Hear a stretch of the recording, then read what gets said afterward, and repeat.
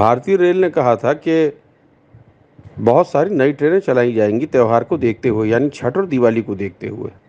लेकिन अचानक ही कल एक फ़ैसला लिया गया जिसमें भारतीय रेल ने बहुत सारी रेल ट्रेनें जो बंगाल जाती हैं या फिर झारखंड से चलती हैं या झारखंड में किसी जगह पर आती हैं, उन ट्रेनों को कैंसिल कर दिया गया है।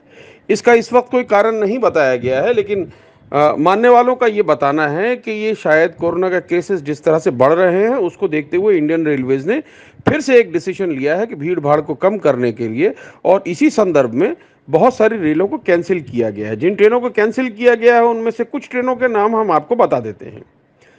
एक है zero three zero two six Bhopal Howrah special express, जो तीन नवंबर तक कैंसिल है। दूसरी ट्रेन है zero three zero two five Howrah Bhopal express special, वो नवंबर एक तक कैंसिल रहेगी। Zero nine six zero eight Madar junction Kolkata express, ये भी एक नवंबर तक कैंसिल्ड है।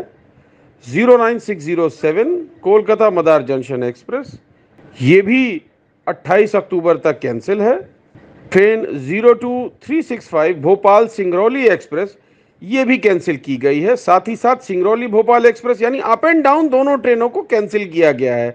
सिंगरौली, हज़रत निज़ामुद्दीन हज़रत निज़ामुद्दीन सिंगरौली सिंगरौली पटना एक्सप्रेस, पटना सिंगरौली, यानी इस तरह की कुछ ट्रेनों को पंद्रह से अट्ठारह ट्रेनों को कैंसिल किया गया है। तो अगर आप कहीं जाने का मन बना रहे हैं या आपके कोई टिकट हैं जो आपने पहले से ले रखे तो एक बार आईआरसीटीसी के वेबसाइट पर या रेलवे इंक्वायरी में ज़रूर कंफर्म कर लें कि उस दिन ट्रेन है या आपको रिफ़ंड लेना होगा।